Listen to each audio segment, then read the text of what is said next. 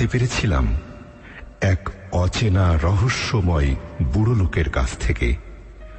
আজ থেকে দুই বছর আগে আমি তখন ট্রেনে করে চুয়াডাঙ্গা থেকে রাজশাহী যাচ্ছি। ট্রেনে সেই লোকটার সাথে আমার পরিচয় ঘটে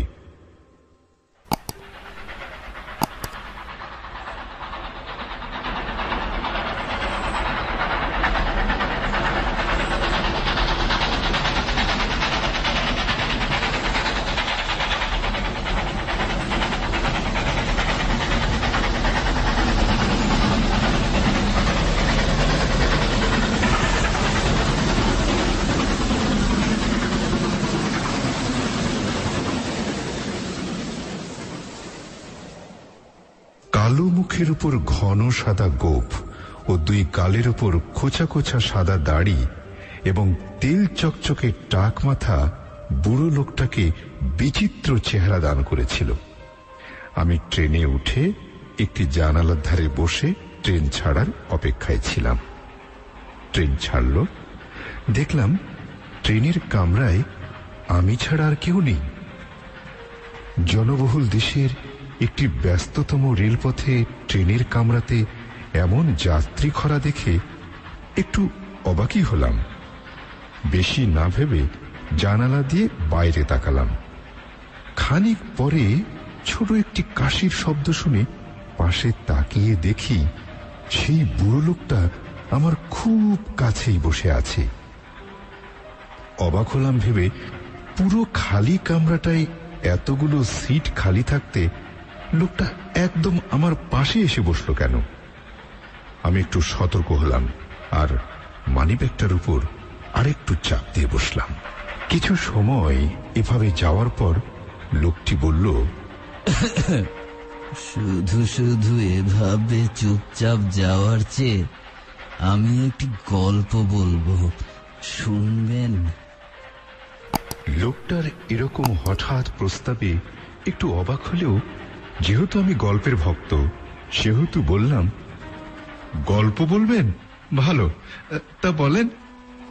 লোকটি বলল তবে গল্প বলা শেষ হলে দয়া করে আমাকে দশটা টাকা দেবেন। অবাক হলাম।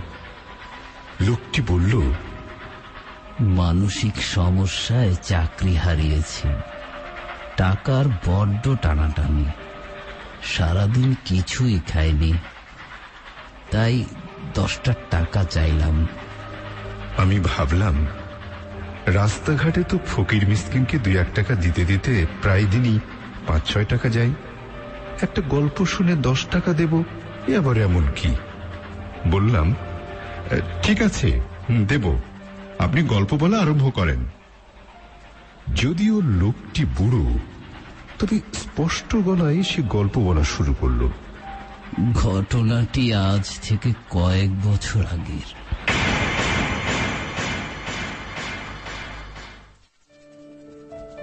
যাদবপুর নামের একটি ছোট্ট শহরে একটি ছোট্ট পরিবার ছিল।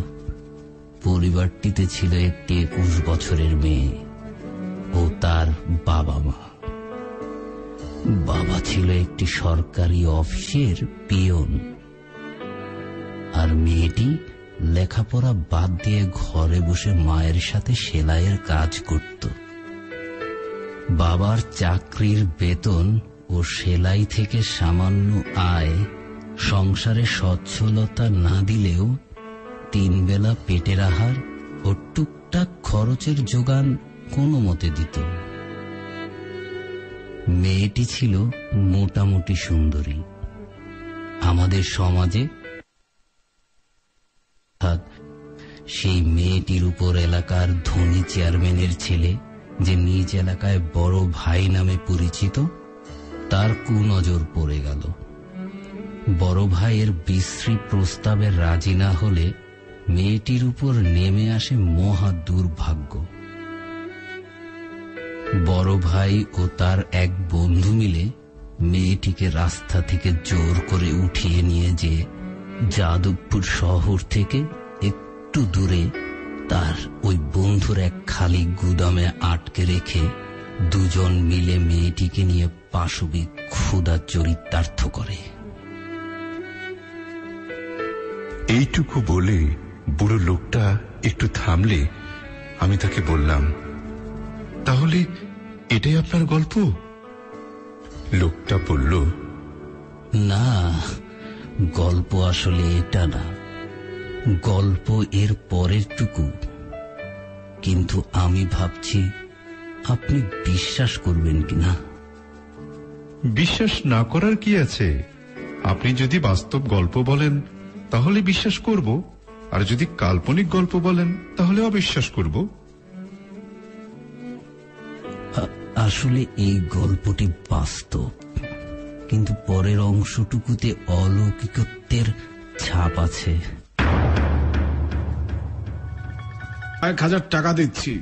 তা দিয়ে চিকিৎসা করিয়ে আর বাকি টাকা দিয়ে যা ইচ্ছে তাই করো। মেয়েটি এবার দৃঢ় কণ্ঠে বলল চেয়ারম্যান সাহেব আমার মতো গরিব মেয়ের দুর্ভাগ্যের বিচার করবেন না? এর একটা উচিত বিচার না করলে আমি সারা এলাকার বাসীর কাছে আপনার বড় ছেলে আর আপনার তাচ্ছিল্যের কথা বলে দেব। জানি, এতে আপনাদের হয়তো কোনো ক্ষতিই হবে না। তবুও আপনাদের প্রকৃত চেহারাটা অন্তত সবার কাছে প্রকাশ করতে পারব। এ পর্যন্তই মেয়েটি সম্ভবত বলতে পেরেছিল।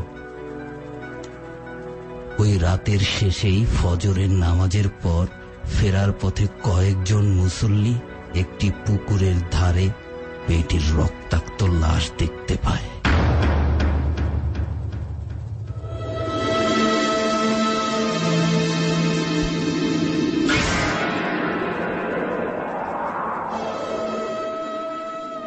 মেয়েটির মৃত্যুর ঠিক এক মাস পরের ঘটনা চেয়ারম্যান বাড়ির সবাই রাতের খাওয়া সেরে ঘুমাতে গেল।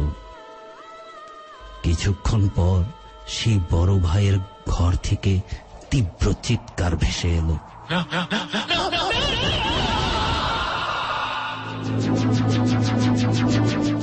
চেয়ারম্যান ও তার স্ত্রী সহ অন্য দুই ছেলে মেয়ে ছুটে গেল তার ঘরে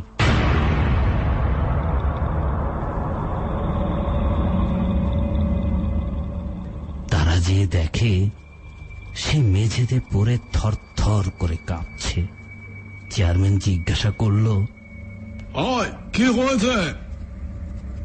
বড় ভাই অনেক সময় নিয়ে কাঁপা কাঁপা গলায় বলতে লাগল বিছানায় শোয়ার কিছুক্ষণ পর দেখি উপরের সিলিং ফ্যানের পেছন থেকে মানুষের মতো একটি কালো ছায়া আস্তে আস্তে সিলিং বেয়ে ঘরের দেয়াল বেয়ে নিচে নেমে এলো। ছায়াটি স্থির হয়ে থাকল।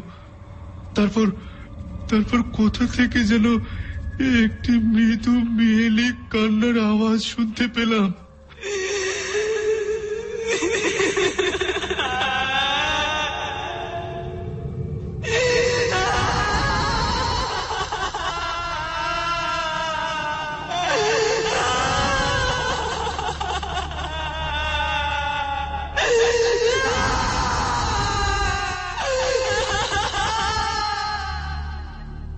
কান্নার শব্দ থামতে না থামতেই ছায়াটি ঝড়ের বেগে আমার মুখের উপরে এসে বাড়তে লাগল। আমি চিৎকার দিয়ে বিছানা থেকে নেমে পালাতে যে মেঝেতে পড়ে গেলাম। উঠতে গিয়ে দেখি শরীরে একটুও শক্তি পাচ্ছি না।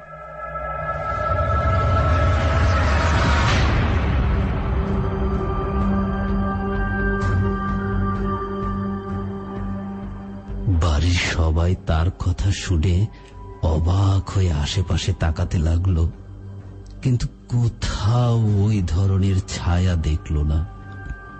সে ভুল দেখেছে না সত্যি দেখেছে, সে সম্বন্ধে কেউ নিশ্চিত হতে পারল না।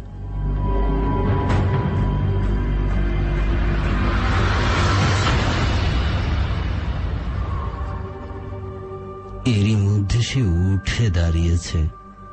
অর্থাৎ শরীরের শক্তি ফিরে পেয়েছে। তাকে সবাই এটা ওটা বলে আশ্বস্ত করল।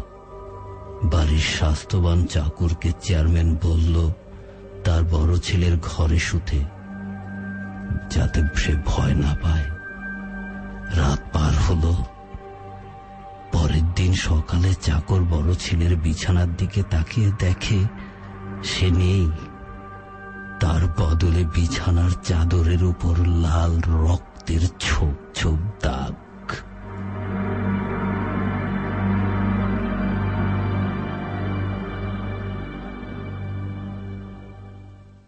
তারপর চাকরটি ছুটে যে সবাইকে তা জানাতেই চেয়ারম্যান বাড়ি সহ গোটা এলাকাতেই চেয়ারম্যানের বড় ছেলেকে খোঁজার জন্য মহাহুল স্থুল পড়ে গেল।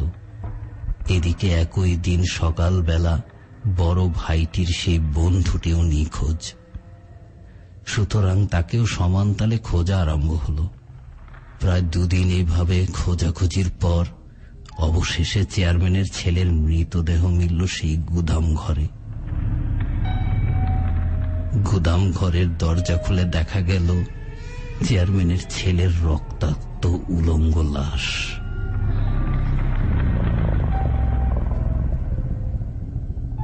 একটি বস্তার উপর উপর হয়ে পড়ে আছে। তবে সেই বন্ধুটিকে গুদাম ঘরে বা তার আশেপাশে কোথাও পাওয়া গেল না। এর মাত্র একদিন পরের ঘটনা, যে মুসল্লিরা একটি পুকুরের ধারে মেয়েটির লাশ দেখতে পেয়েছিল, সেই একই মুসল্লিরা সেই পুকুরেই, সেই একই স্থানে দেখতে পেল জমা করে রাখা শুকনো কচুরি পানার স্তূপের ভেতর থেকে একটি মানুষের হাত বেরিয়ে রয়েছে। সেদিনই পাওয়া গেল সেই বন্ধুটিকে, অর্থাৎ আরেকটি রক্তমাখা উলঙ্গ লাশ। দুটো লাশ পাওয়ার পর এলাকাবাসীর কাছে একটি ব্যাপার দুর্বোধ্য রহস্যের সৃষ্টি করেছিল। কারণ চেয়ারম্যানের ছেলের লাশের গলায় পেঁচানো একটি ওড়না পাওয়া গিয়েছিল। আর তার বন্ধুর লাশের মুখের ভেতর গোজা অবস্থায় একটি জামা পাওয়া গিয়েছিল। সেই ওড়নার জামা মরে যাওয়া মেয়েটির গায়ে পড়া ছিল। এই দুটো ঘটনায় মাত্র কয়েকদিন অতিবাহিত হবার পর একদিন রাতের খাবার খেয়ে চেয়ারম্যান সাহেব ঘুমানোর প্রস্তুতি নিচ্ছিল। এমন সময় শুনতে পেল বাড়ির বাইরে উঠানে কোনো মেয়ে মৃদু শব্দ করে কাঁদছে।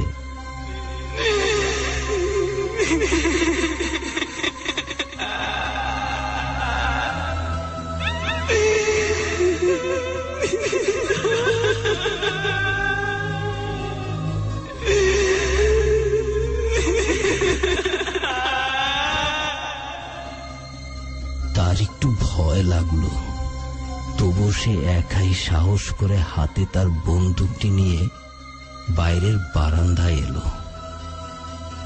বাইরে আসার খানিক পরেই সে একটি তীব্র চিৎকার দিয়ে অজ্ঞান হয়ে বারান্দার উপর পড়ে গেল।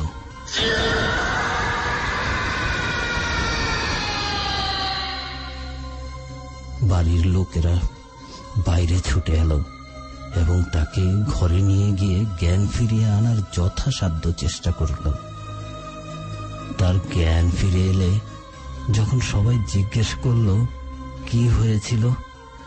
তখন সে আর কিছুই বলতে পারল না। পরবর্তীতে সে আর কোনোদিনই মুখ দিয়ে কথা বলতে পারেনি। শুধু খাওয়া দাওয়া ও হাঁটাচলা করতে পারত। বুড়ো লোকটি গল্প বলা শেষ করল।